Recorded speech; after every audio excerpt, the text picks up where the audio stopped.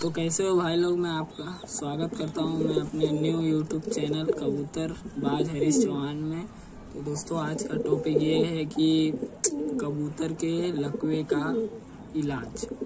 दोस्तों, बहुत से कबूतर लकवे में आके जाया हो जाते हैं, मर जाते हैं।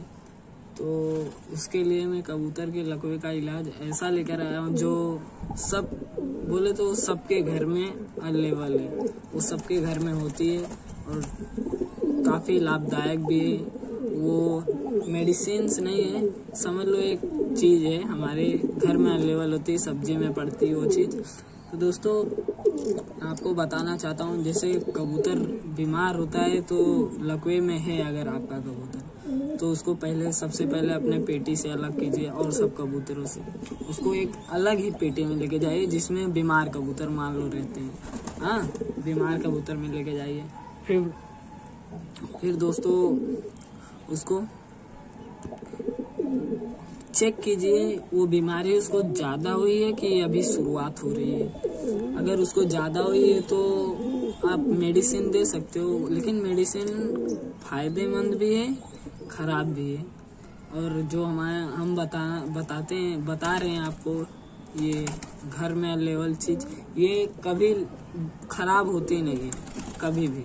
ये लाभ ही दायक है, ये लाभ ही दायक है। आपको मतलब आपके कबूतर को ये कहीं ना कहीं से आपके कबूतर को ये अच्छा ही रखेगा, खराब नहीं करेगा। तो उसके लिए दोस्तों, लकवे के इलाज के लिए बीमारी बीमारी के लिए, लकवे के इलाज की बीमारी के लिए तब तक मैं अपने एक आपको मादी दिखाता हूँ, जो लकवे में थी। रुकिए उसके लिए लेकर आता हूँ। दोस्तों, मैं लेकर आके गया हूँ ये मादिन। ये मादिन जो आप देख रहे हो, फ़िलहाल तो ये ठीक है, बाकी अभी दो महीने पहले इसको बहुत बुरी तरह से लकवा हो गया था। तो इसका इलाज हमने ना कोई मेडिसिन दी, ना कुछ दिया, सिर्फ़ घरेलू चीज़ इसको खिलाया है। देखिए, ये देखिए ये मादिन ये मादिन है। मादिन का शौक कर लीजिए आप। भाग रही है। ये इसकी आँख देख लीजिए आप। ये आँख एक चोंच देख लीजिए, हल्की काली है। पर देख लीजिए, पर भी मस्त है। ये भी पर पर देख लीजिए। देखिए दोस्तों, भागने की कोशिश करिए। ये पर इसके उखाड़े थे, खराब हुए थे दोस्तों। दुम देख लीजिए दोस्तों इसकी। दोस्तों तो फिर इसके ठीक होने का उपाय ये। ये जो आप देख रहे हैं ना, ये लहसन। सुबह के टाइम आपको ये लहसन सिर्फ़ दो आटे, बोले तो ऐसे दो लहसन छील लेने, छील के रुको आपको करके दिखा देता हूँ दोस्तों।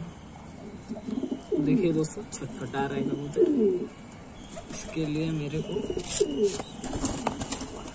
वो करना पड़ेगा। दोस्तों, अकेला हूँ, कोई है नहीं, वीडियो बनाना।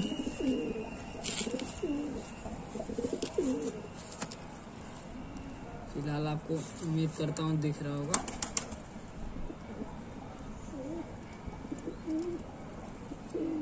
आपको सिर्फ़ इसकी चोंच फाड़नी है इसे, और ये ऐसे डाल देंगे।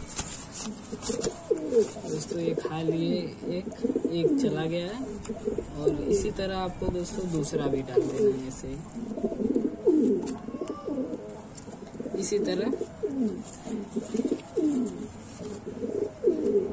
इसी तरह दोस्तों आपको ये ऐसे फाड़ने चोंच, दूसरा डाल देना है। ये दूसरा भी खा ले दोस्तों ये दो महीने पहले लकवे में थी। आज इसी मेडिसिन की वजह से एकदम बरोबर है। दो बच्चे भी इसके पल रहे हैं और ब्रीडिंग किंग है ये। हमारे यहाँ पे आठ दस कबूतर बाज भाई हैं, आजू बाजू।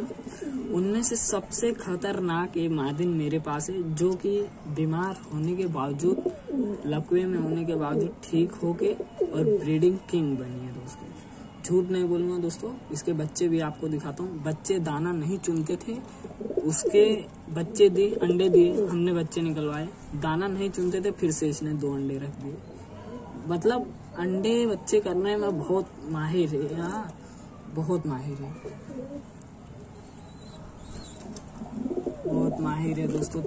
रुको, इसके बच्चे लेकर आता हूँ एक। देखिए दोस्तों ये इसका एक बच्चा है। तांबड़े टाइप में भाई। एक नंबर बच्चा है ये भी। अभी नहाया है इस, इसने। ये देख लीजिए। बहुत मस्त बच्चा है दोस्तों ये। बहुत मस्त है। देख लीजिए, इसका शौक देख लीजिए आप। देखिए। अभी आँख नहीं साफ़ है। फिर भी बढ़िया बच्चा है फिर भी, अभी भी अंडे रखे। एक तो ये इन लोग की वजह से खराब हो गया। उसको तो हमने फेंक दिया। उसमें कोई दिक्कत वाली बात है नहीं। वो दोबारा दे देगी, बहुत जल्दी देती। और ये बच्चा है, बड़ा हो चुका है दोस्तों। सेम उसी की तरह है। सेम सेम दोस्तों। सेम उसी की तरह है। सेम वही वही, देख लीजिए आप। खुद ही देख लीजिए।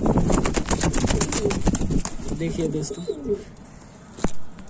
मस्ती कर रहा है। तो दोस्तों, आज वीडियो, आज आज का टॉपिक यही था।